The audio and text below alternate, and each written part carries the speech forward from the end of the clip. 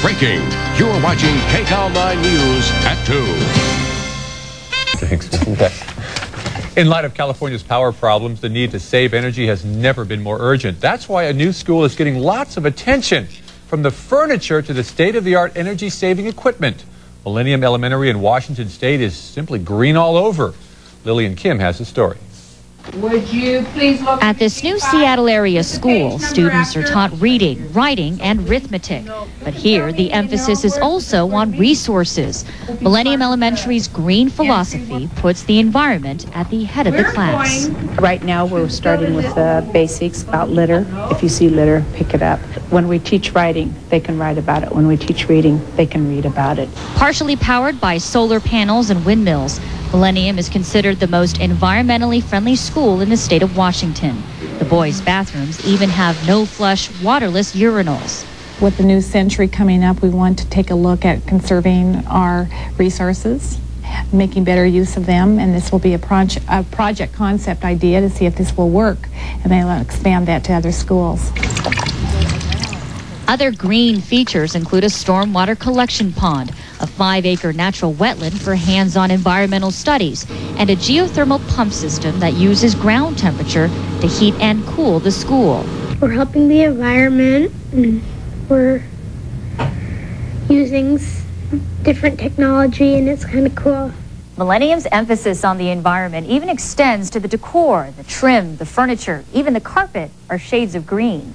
Most of the earth friendly gadgets cost more than traditional equipment, but school officials expect to save money in the long run by spending less on energy costs, while at the same time saving the earth's resources for future generations. In Kent, Washington, Lillian Kim, KCAL 9 News.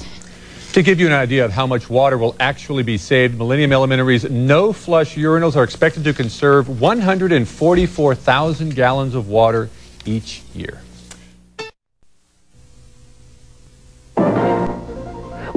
From KVOA TV4 Tucson, this is Eyewitness News at 10. The average urinal uses 45 to 60,000 gallons of water a year. Now there's a new trend in public men's rooms in Tucson. No water, no flushing. Pamela Davis explains how it works. Go into most any men's room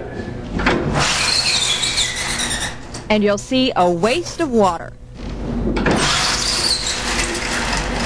But check out this men's room at Arizona Stadium. It's flushless and No, they don't smell. it's hard to believe. No water, no flushing, and no stench. The odor comes from bacteria. When water meets urine, it creates bacteria.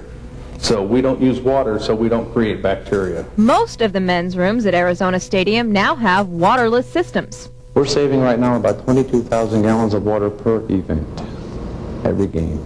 That's about as much water as you have in the average backyard swimming pool.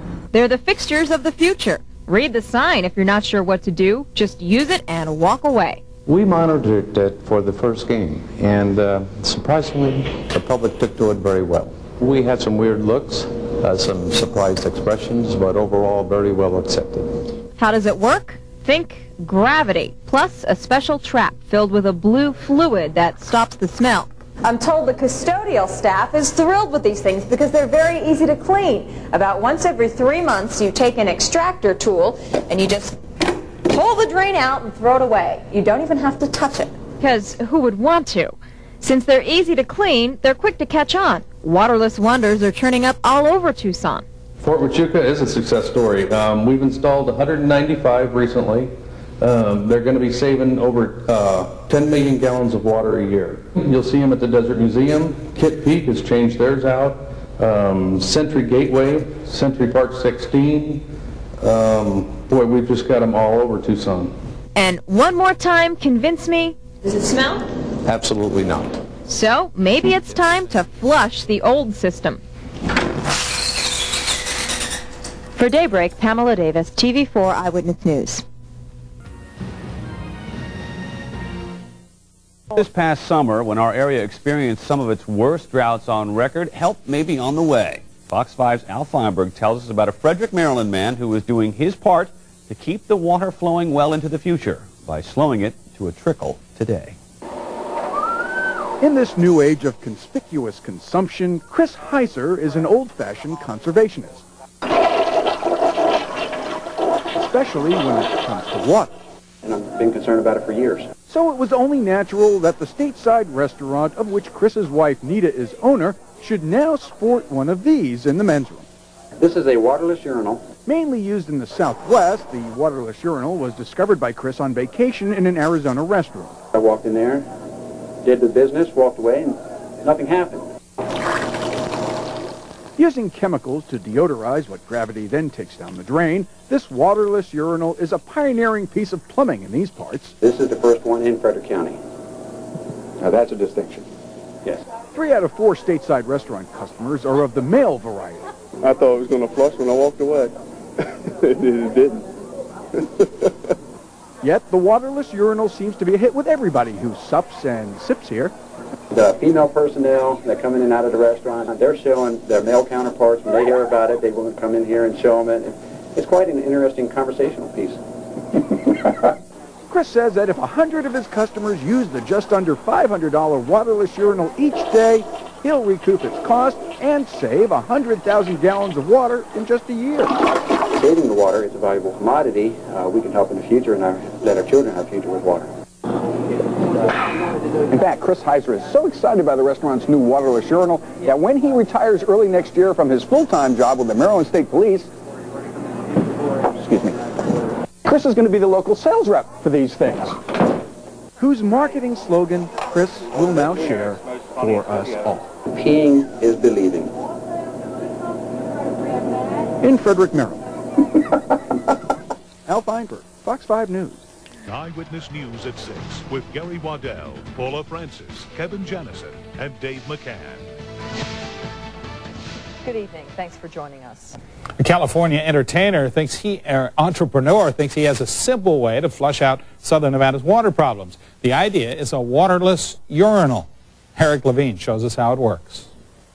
If Klaus Reichardt gets his way, you'll never hear this sound again. Reichardt spent the last nine years promoting his waterless, odorless urinal. There is a chemical reaction between water and urine. It breaks down the urea and you get the ammonia spill. Well, if you don't have water anymore and all your urine goes underneath the, uh, the blue seal in the trap, there is no more odor. The urinal's design sends the urine into a submerged filter where it passes through a blue liquid and is trapped. The next person repeats the process and the old urine is forced down the drain. The Venetian Hotel and Nellis Air Force Base have already signed on. The no flush, no smell urinal is not entirely maintenance free. Every three months you need to take a tool like this, reach in, take out the filter, and replace it with another one. The biggest advantage of the waterless urinal is it doesn't use the estimated 40,000 gallons of water flush urinals use each year. Reichardt thinks Clark County could save $2.6 million annually. Being the driest major city in the United States, it's important that we save water however we can. If it's a waterless urinal that helps us save water, which it does, then that's important to us. The Las Vegas Water District is testing the idea and installed two waterless urinals at the Desert Demonstration Gardens. It may be a big sign of what's to come. Most people who still have not used it, I have this stupid little saying that says peeing is believing. You know, once you used our urinal, is you absolutely convinced that it works. Eric Levine, Eyewitness News. Okay. The waterless urinal cost about the same as regular urinals, and they can be installed to existing lines where the flush urinals used to be. Hmm, maybe an idea that's time has come. Did he say peeing is believing? He did say that. That's what I was laughing at. Uh, so I guess we can say that on the 6 o'clock news. I don't know. I hope so.